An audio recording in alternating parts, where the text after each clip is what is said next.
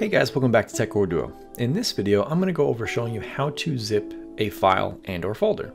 Uh, this is going to be using two different methods. One's going to be using the built-in Windows uh, archiver or compressor, and the other one's going to be downloading 7-zip and installing that and using that, which has a lot more options and extraction options for you to use. All right, so the first thing you want to do is go ahead and you have your sample files here. If you just right click on that file, go to send to, compressed zip folder, it's going to go ahead and create the folder for you. It's that simple. Depending on the file size, it will take a little bit longer. So all you need to do from here is you can double click on it and there it is. So you can open this up, you can move this around, you can extract it if you want to, you can click extract all.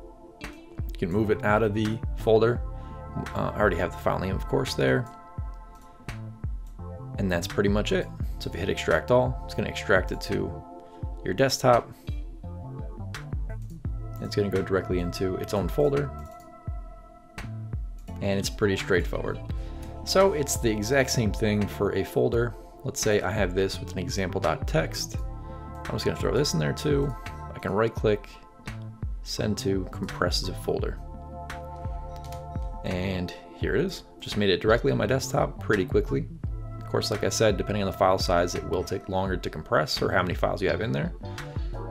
But that's pretty straightforward, pretty easy.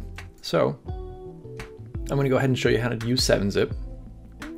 So go ahead and head to 7zip.org forward slash download .html here. So you can always go to 7zip.org, click the download button on the side.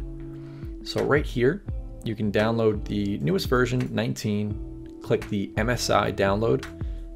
This is the 64-bit version double check your machine and make sure you're either running 64-bit or 32 and download the appropriate version. I downloaded the 64-bit, so I'm just going to minimize this. We're going to run the installer. We're just going to next all the way through, leave that as default, and then install. Now while this is installing, I'm just going to go ahead and clear this out. I'm just gonna move that out of the way. All right, so now we have 7-zip on our computer. We can right click on a file, head down to 7-zip, and then you can do add to archive. You have other items here as well if you wanted to compress and email all at the same time.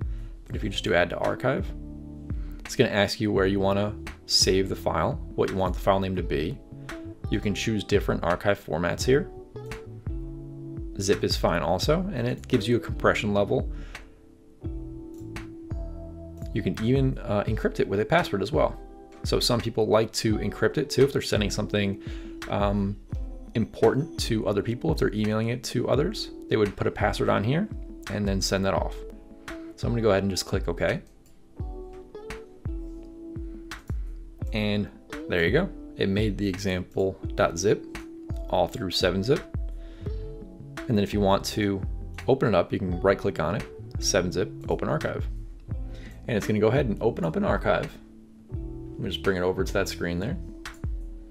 That looks just like this. And this is the 7-zip. Click on it, you can extract it, browse to wherever you want to drop it off to. Click OK. Of course, I already have a file there named example.txt. We'll just click, say yes. And it's going to just refresh it and extract it onto my desktop. So it's pretty straightforward. If you guys have any questions about either program um, or encryption or so on, just let us know in the comments below. Hope this was informative for you guys and take care.